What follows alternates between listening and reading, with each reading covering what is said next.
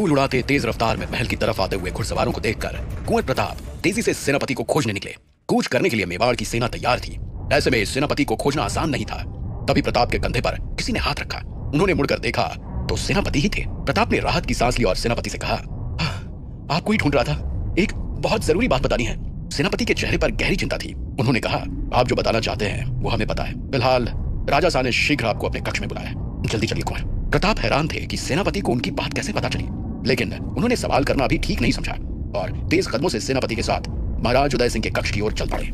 वहाँ पहुँचे तो वो हैरान रह गए। महाराज उदय सिंह के सामने वो तीन सफ़ेद पोष थे, जिन्हें प्रताप ने अपनी खिड़की से देखा था। प्रताप को देखते ही उदय सिंह ने गुस्से से पूछा, कुंवर प्रताप, क्या कल आप अफगानों की छावनी में गए थे? प्रताप ने उदय सिंह के हाथों में देखते हुए कहा, जी पिताजी, लेकिन महाराज उदय सिंह ने प्रताप को बीच में टोकते हुए गुस्से से कहा, बस, अब और नहीं जानना चाहते हैं। फिर उन्होंने सफ़ेद पोषों की तरफ़ देखते हुए कहा शम्स खान ने स्वयं इस युद्ध का न्योता दिया था। अब वो सुलह करने स्वयं क्यों नहीं आया यहाँ पर? उनमें से एक सफ़ेद पोष ने कहा, जैसा कि कुंवर प्रताप ने बताया कि उनकी जान को खतरा है, ऐसे में उनका यहाँ आना ठीक नहीं था। हमें भी यहाँ इस सादे वेश में और बिना अपने झंडे के आना पड़ा। राजा उदय सिंह की आँखों में रोष था। उन्होंने कहा, यह युद्ध कोई बच्चों का खेल नहीं। इस बार हम ये युद्ध रोकने के लिए तैयार हैं। लेकिन शम्स खान से कहो कि मुझे मुहर लगे पत्र पर यह लिख कर दे कि वो मेवाड़ की स्त्रियों की तरफ़ कभी नज़र उठाकर नहीं देखेगा। और कभी अगर उसने ऐसा किया तो उसकी आँखें नोचने से हमें कोई नहीं रोक पाएगा। उदय सिंह की बात सुनकर एक नकाब पोष डैश में आ गया, लेकिन दूसरे ने उसे शांत किया और उदय सिंह से कहा, जी, बेहतर। हुजूर को यह खबर पहुँचा दी जाएगी। वैसे हुजूर ने आपके लिए भी कुछ सोचा है, एक नए समझौते के बारे में। एक ऐसा समझौता जो आज से पहले कभी नहीं हुआ। जल्द ही आपको फरमान मिल जाएगा। और इतना कहकर वो अपने साथियों को लेकर कक्ष से बाहर निकल गया। प्रताप को विश्वास नहीं हो रहा था कि शम्स खान ने उसकी बातों पर विश्वास कर लिया था, और वो भी बिना सबूत के। वहीं उदय सिंह ये सोच रहे थे कि शम्स खान समझौता चाहे कितने ही कर ले, वो उस पर कभी नहीं टिकता। इसलिए उन्हें अगले समझौते में उसके शब्दों का पूरा ध्यान देना होगा कि वो क्या चाहता है। सफ़ेद पोषों के कमरे से जाते ही प्रताप ने अपने पिता से कहा, पिताजी, आप मेरी बात समझने की कोशिश कीजिए। मुझे एक साजिश की खबर मिली थी।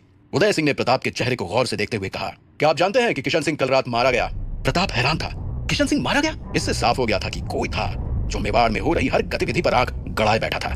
प्रताप ने कल रात जो हुआ था, वो सारी बातें उदय सिंह और सेनापति को बताई। उसकी बातों से उदय सिंह का गुस्सा थोड़ा कम तो हुआ, लेकिन प्रताप से उनकी नाराज़गी कम नहीं हुई। पहले तो उन्होंने सेनापति से कहा कि वो जाकर मेवाड़ की सुरक्षा में दुगने सैनिक तैनात कर दे, और फिर प्रताप से कहा, कुंवर प्रताप, आपने जिस साजिश की खबर दी है हमें, वो महत्वपूर्ण तो है, लेकिन युद्ध के माहौल में आधी रात महल की सुरक्षा तोड़ के ऐसे अकेले निकल जाना सही निर्णय नहीं था। आपसे ऐसी आशा नहीं थी। आपको इसके लिए दंड दिया जाएगा। इस बार आपके लिए एक बहुत ही खास दंड सोचा है हमने। अभी आप अपने कक्ष में जा सकते हैं। प्रताप कहना तो बहुत कुछ चाहता था लेकिन अभी अपने पिता की आज्ञा स्वीकार करना ही बेहतर समझा। उधर शम्स खान की छावनी में एक लड़की बंदी बनी खड़ी थी। उसके माथे से खून बह रहा था। शम्स खान की आँखें लाल थी। वो गरजता हुआ उस लड़की से बोला, यह मत सोचना कि तुम लड़की हो तो तुम्हारे साथ नरमी से पेश आएँगे। तुम हमारे लिए बस एक दुश्मन हो और अफगान अपने दुश्मन को बख्शते नहीं है। बताओ, कल रात तुम किसके कहने पर प्रताप से मिली? हम भी तो जाने कि कौन है जो हमें मारने का जिगर रखता है। उस लड़की ने अपने होठ और ज़ोर से दबा लिए ताकि उसके मुँह से एक शब्द भी ना निकले। अफगान सैनिक ने इस बार उसकी पीठ पर कोड़े बरसाए। लेकिन उस लड़की ने उफ तक नहीं किया। बस शम्स खान के चेहरे को गौर से देखती रही। तभी शम्स खान की छावनी में सफ़ेद पोष ने प्रवेश किया। राजा उदय सिंह ने युद्ध रोक दिया है, लेकिन आपसे एक मांग की है। शम्स खान ने सफ़ेद पोष को आगे बोलने से रोक दिया और उस लहूलुहान लड़की की तरफ़ देखकर कहा, मेवाड़ में एक पत्ता भी हिलता है तो उस पर मेरी नज़र रहती है। किशन सिंह मारा गया, लेकिन तुम्हारे बाकी साथियों को हम पकड़ लेंगे। मेवाड़ के महल पर अब सिर्फ़ अफगानी झंडा ही लहराएगा। अब कोई भी हमारी जीत के बीच आएगा तो जान से जाएगा। उस लड़की ने कुछ नहीं कहा और पूरी ताकत से शम्स खान के मुँह पर थूक दिया। शम्स खान अब गुस्से से पागल हो गया था। उसने आदेश देते हुए कहा, इसकी यह हिमाकत, ले जाओ इसे, और तब तक इस पर कोड़े बरसाओ, जब तक ये कुछ उगल ना दे। शम्स खान भी ये जानता था कि वो लड़की अपना मुँह नहीं खोलने वाली थी।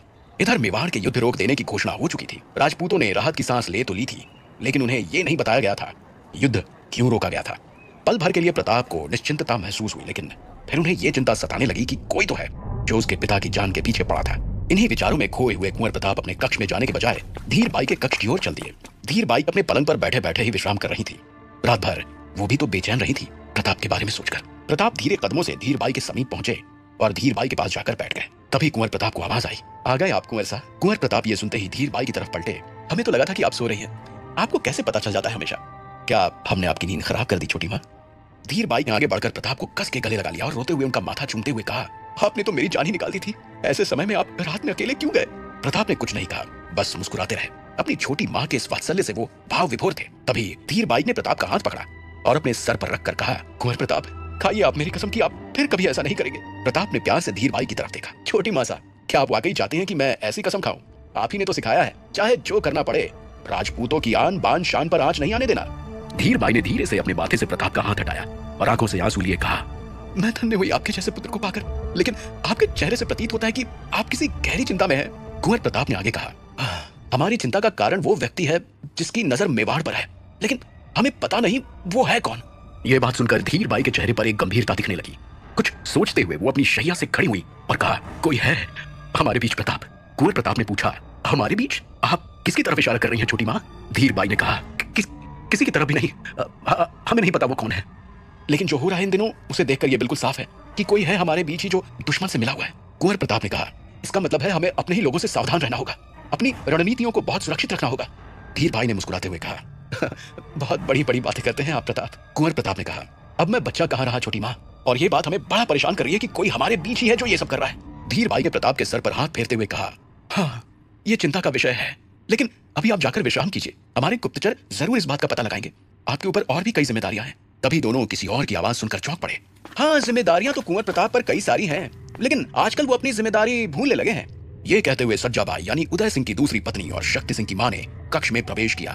इससे पहले कि प्रताप कुछ कह पाते, उन्होंने कहा, देखिए, आज आप भूल गए ना कि आज सोमवार है और आपकी छोटी माँ को पूजा के लिए चौरी तालाब से सफ़ेद कमल चाहिए होता है। लेकिन आप चिंतित ना हो, आपके छोटे भाई शक्ति सिंह भूले नहीं थे, वो ले आए हैं। प्रताप ने सर झुकाकर धीर भाई से क्षमा मांगी, लेकिन धीर भाई मुस्कुरा रही थी। जाइए कुंवर, कल रात आपने बहुत बड़ी ज़िम्मेदारी पूरी की है, और इसलिए हम आपको कल कुछ दिखाएँगे। अब आप विश्राम कीजिए। सज्जा भाई का मुँह बन गया। प्रताप अपनी दोनों माँ को प्रणाम कर उनसे आज्ञा ले वहाँ से चले गए। आखिर कल सुबह उन्हें पिताजी के दंड के लिए भी तो तैयार रहना था। पता नहीं इस बार पिताजी ने उनके लिए क्या सोच रखा है। अपने कक्ष में पहुंचकर कब उन्हें नींद आ गई, पता ही नहीं चला। लेकिन अचानक ही एक आहट से उनकी आँख खुली। तो देखा, सामने एक सफ़ेद बाल और सफ़ेद दाढ़ी वाला हट्टा कट्टा व्यक्ति धोती पहने, ललाट पर सिंदूर लगाए उनके सामने तलवार ताने खड़ा था। तलवार की चमक से ज़्यादा उस व्यक्ति के मुख पर तेज था। प्रताप चौकन्ने हो गए। उन्होंने भी फूर्ति से अपने पलंग के बगल में पड़ी अपनी तलवार उठा ली। वो छलांग लगाकर उस व्यक्ति के सामने थे। कुंवर प्रताप तलवारबाजी में इतने निपुण थे कि आधी नींद में भी वो चार लोगों का सामना कर सकते थे। फिर ये तो अकेला व्यक्ति था।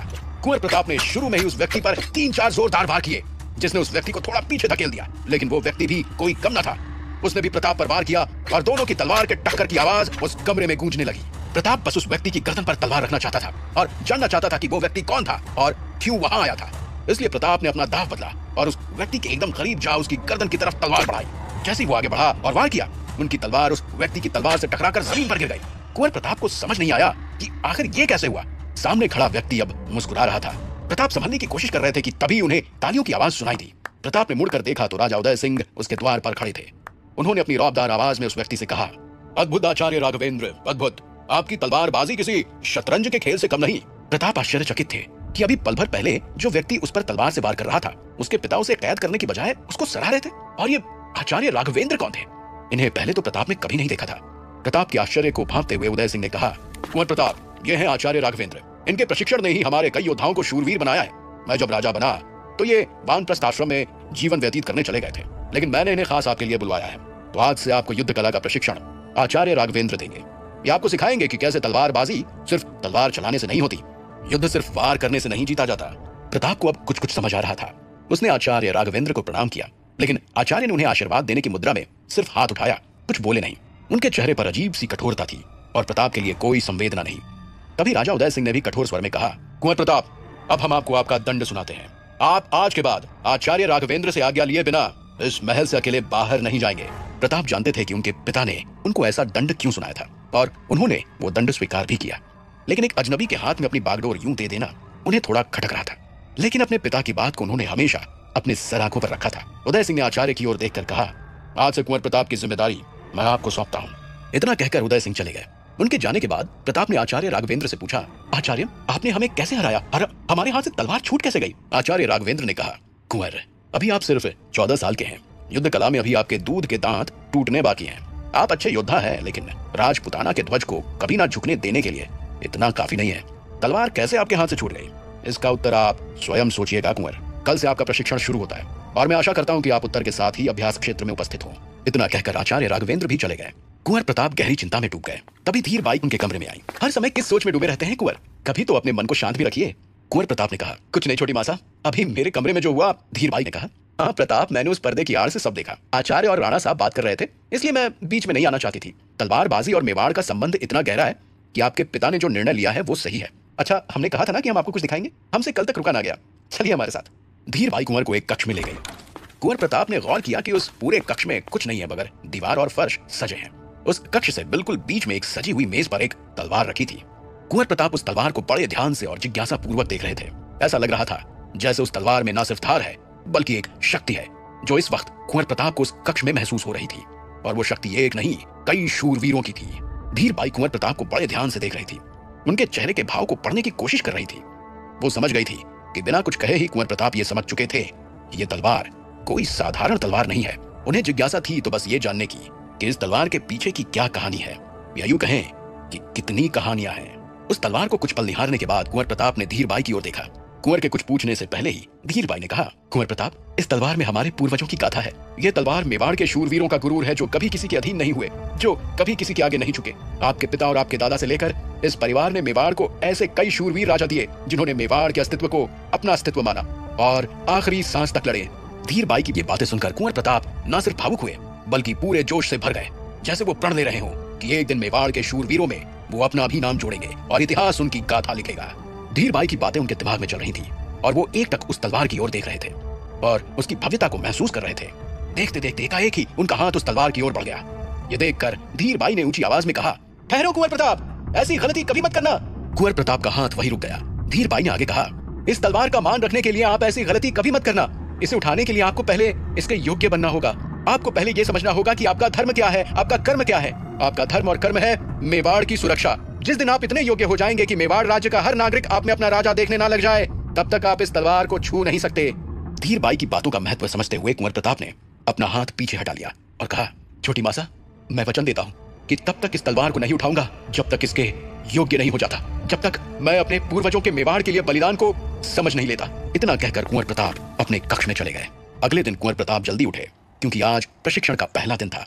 एक और वो अभी तक उस प्रश्न का उत्तर सोच रहे थे, जो उन्होंने आचार्य राघवेंद्र से पूछा था।